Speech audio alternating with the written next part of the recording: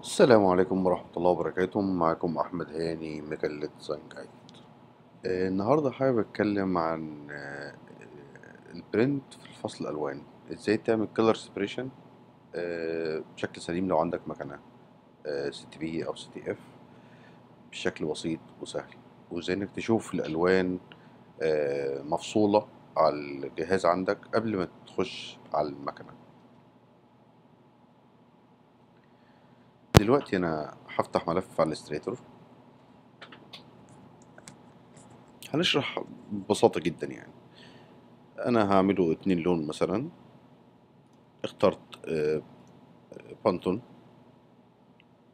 ولون black يعني الشغل عندي عبارة عن اتنين لون. دلوقتي هعمل print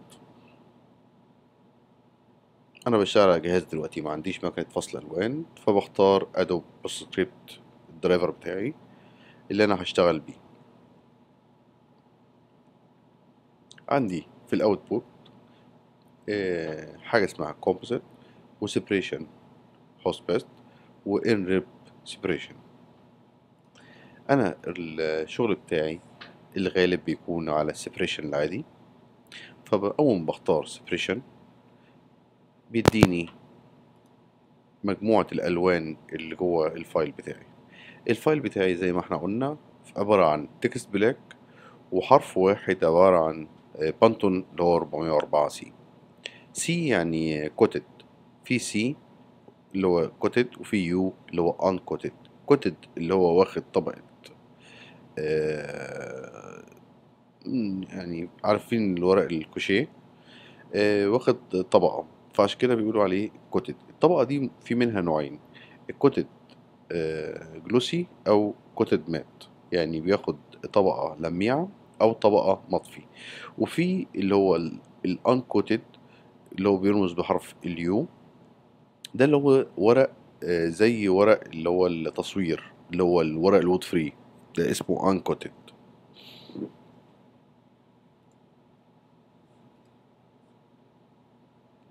شايفين ال Pantone بتاعي واخد علامة شوف CMY كلها واخدين شكل كده اللي هو داخل في الأربعة لون ال Pantone واخد دايرة لوحده. لو أنا دوست على الدايرة نفسها هيتحول لأربعة لون. فاهمين قصدي؟ يعني مش الشغل ساعتها مش هيبقى عبارة عن black و Pantone لأ هيبقى cyan و magenta و yellow و black. هو already ال Pantone ده لما يتحول مفيهوش cyan. ده عادي مفيش مشكلة.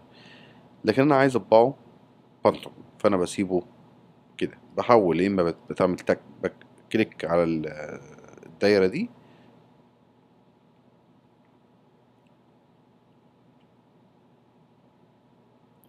composite لو بعمله print out عادي. separation لما أعمله فصل ألوان. طيب عندي ال emulsion يعني إيه ال emulsion هو الحساس.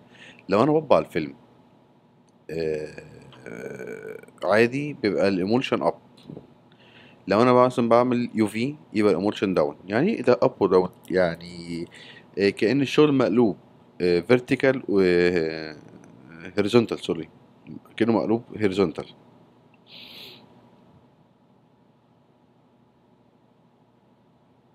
إمتى بستعمل برضو المقلوب. المقلوب بيبقى في ال UV في البصمة بيبقى مقلوب. العادي بتاعي بيبقى ال emulsion up ال- الفيلم عادل طيب أكبر بس عشان تشوفها. عندي separation emulsion up و down عرفناها.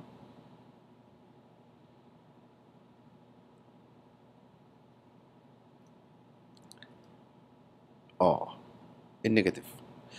آه لما يكون الفيلم positive عادي ده بعمله آه للطباعة العادية. لما أنا أختار عايز أعمل آه gaufrage اللي هو النافر عايز أعمل بصمة ساعات آه بيطلب مني اللي هو الراجل بتاع كليشيهات اديني الفيلم آه negative. طبعا دوت مش هينفع negative عشان يعني شايفين الاي دي معمولة لون تاني المفروض يبقى لو أنا هعمل بصمة يبقى كله أسود بس أسود وأبيض مفيش غير اللون واحد بس في الطباعة. كده بوضح لكم بس كل الحاجات بتاعتنا يعني. طيب عندي إيه تاني؟ آه عندي الأوبشنين دول.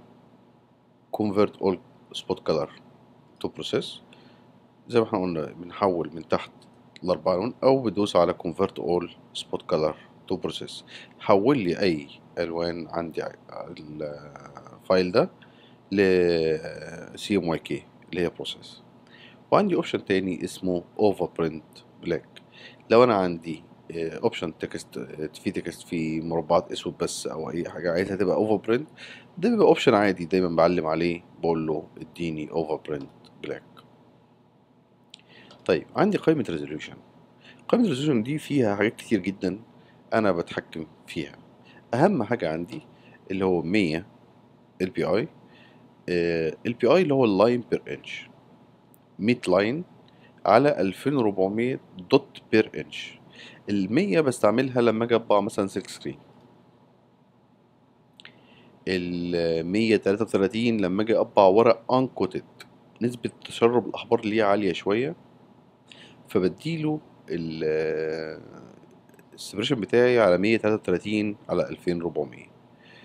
طيب لو أنا بطبع على ورق coated عادي خالص بطبع على مية خمسة وسبعين على ألفين ربعمية. ده اللي هو كل الشغل بتاعي.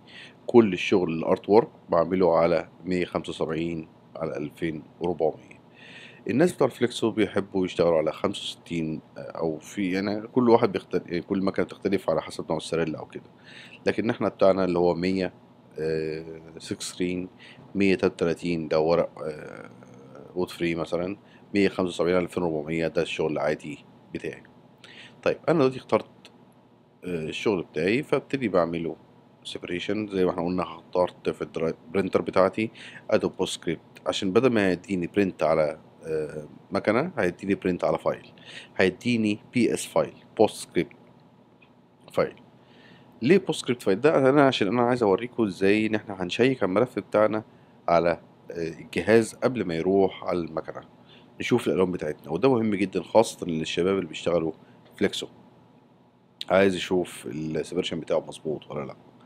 فأنا بعمل ال print file PostScript PS وابتدي أروح على ال application بتاعتي بفتحه الأول إزاي؟ عن طريق ال Acrobat بتاعي. إحنا اخترنا دلوقتي شغل اتنين لون واحد black وواحد special بفتح ال Acrobat بلاقي اوتوماتيك نازل جواه Adobe Distiller في أي version بيبقى نازل اوتوماتيك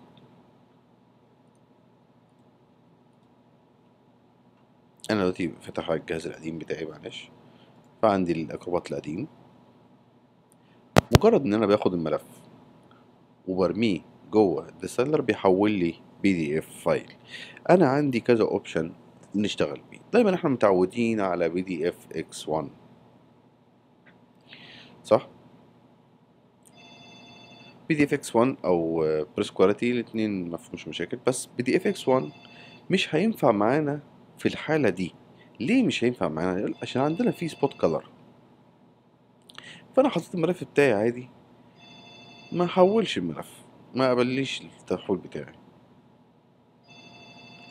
فأنا هاخد الاختيار بتاعي التاني اللي هو press quality ببتدي أحط ال file بتاعي جواه اوتوماتيك بيلاقي جنبه بينزل ملف PDF خليه يحول بس. اوتوماتيك جالي ملف بنفس الاسم عبارة عن PDF file بفتح ملف PDF ألاقي جواه صفحتين. أول صفحة بنفس الاسم اللي هو black بلاقي التكوين بتاعي بدون حرف الاي والحرف الاي اللي هو اتعمل Pantone رقم 404 بلاقيه هناك عندي على ال Acrobat بنفس الاسم. أشوف هنا Pantone 404 C بلاقيه هناك في, الأك... في الأكروبات نازل 404 سي. ده ببساطة جدا إزاي إن إحنا ناخد ملف ونعمله separation من على الجهاز بتاعنا ونشوف إحنا بنعمل إيه. دايما تابعونا. معكم أحمد هاني مجلة Design Guide تابعونا وأسئلتكم دايما على www.designguide.com شكرا ليكم. السلام عليكم ورحمة الله وبركاته.